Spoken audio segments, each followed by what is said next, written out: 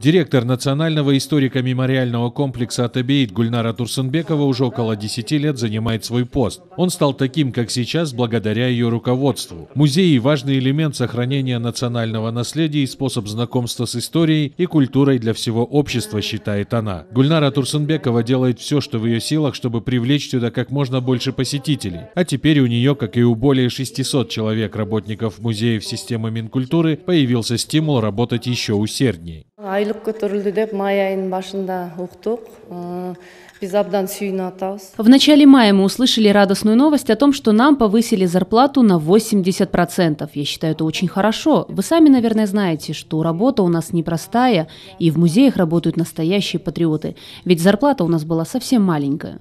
Правительство приняло постановление о повышении заработной платы музейных работников, которые находятся на балансе Министерства культуры, информации и туризма. Таких музеев 28. Это областные музеи республиканского значения и имеющие статус национальных. Для этого в бюджете министерства предусмотрено 15 миллионов 480 тысяч сомов. Там в зависимости от э, категории самих, самого персонала, есть э, персонал, который получает там 5-6 тысяч сомов, они, у них поднимается до 7 до 9 тысяч сомов.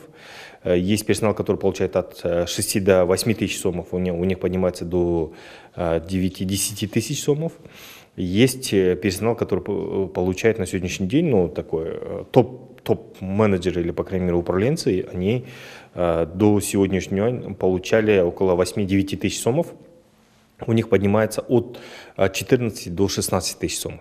Следующим этапом планируется повысить заработную плату работников библиотек и сотрудников так называемых клубов и культурных учреждений в регионах. По словам Азамата Джаманкулова, важно не затягивать с этим процессом. Необходимо сохранить специалистов, которые десятилетиями работали на голом энтузиазме, чтобы они не переходили в другие сферы и не уезжали из страны. Решение о поднятии зарплат работников сферы культуры было принято несколько лет назад. Вы знаете, о том, что в целом, по, если секторам смотреть, самые минимальные заработные платы получали культурные деятели. Э, поэтому было решено несколько лет назад о том, что поэтапно будем поднимать. Первым делом поднимали в 2018 году 11 учреждениям, которые имели статус национального. Э, там были от 80 до 100% э, поднимался заработная плата два раза. Повышение заработной платы работников музеев стало возможным в том числе и проведенной два года назад оптимизацией, которая заключалась в сокращении дублирующих должностей в некоторых структурах. Как отметил министр, без культуры невозможно представить развитие страны, и это особенно важно в нынешний период развития и в будущем. Нурбек Иманов и Сантура Быкеев, Алато 24.